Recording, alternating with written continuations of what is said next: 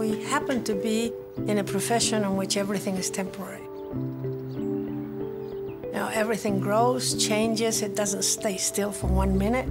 And so we sort of have in our genetic makeup, you know, to consider that everything is transitory.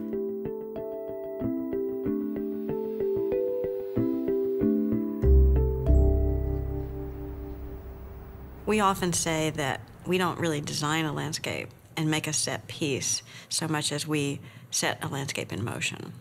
So you start something and you know that it will unfurl over time, you know that it will change over time. The most disappointing day of any landscape architecture project is the day it opens to the public because the plants are tiny, everything looks, looks, like mulch, mulch and masonry, and there's no immersive quality to the landscape that you create. As the planting moves in and takes force and takes volume, then you've got an evolving sculpture.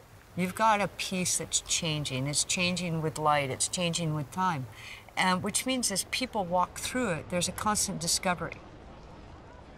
I think with architecture, it's a very different thing. The building is perfect the day it's finished. And then people move in and things change and they make their own additions. They want their buildings to look about the same in January as they look in July. Whereas I love the fact that those seed heads in the snow in the winter versus those tassels waving in you know late summer. It's, it's just that the idea of those changes are so wonderful that you get in landscape. In a hot climate, we need the shade in the summer, but in the winter, when it's the wind's blowing, you kind of and it's kind of cold out, you really are glad the leaves are gone and the sun's coming in at that low angle into your room. But in the spring, when everything comes alive and the landscape transforms and the bulbs come up and things green up and the little leaves come out, it's gorgeous. And then the fall, who doesn't love autumn? There's the color, the crispness in the air, and then the landscape changes. The air is different, the quality of the light. And, and these are things that buildings don't do.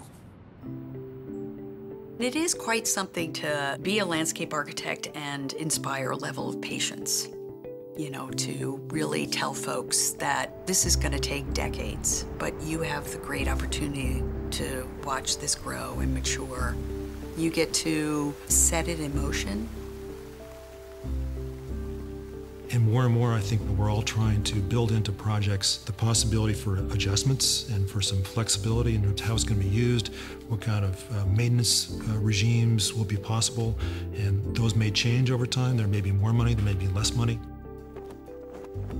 We run into this a lot in these public-private partnerships, is finding a way to get beyond the opening day, because everybody's excited to contribute to build something that you can see and show to their friends, uh, but they're not very excited about contributing money to mow the lawn two years later or to uh, operate events and things like that.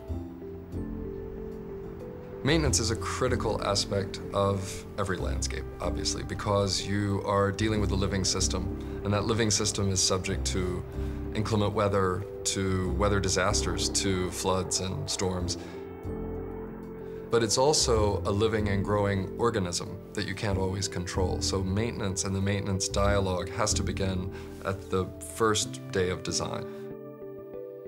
Maintenance is also an ongoing dialogue.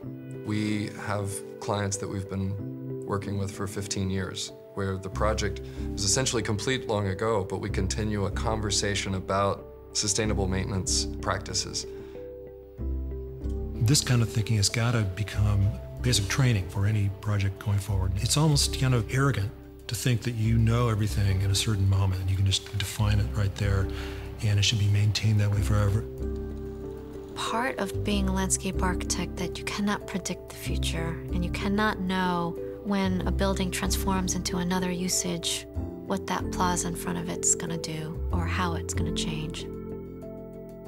I think that having this kind of modernist vision of one thing and only one thing is a risky proposition. Cities are organic beings and they're constantly transforming.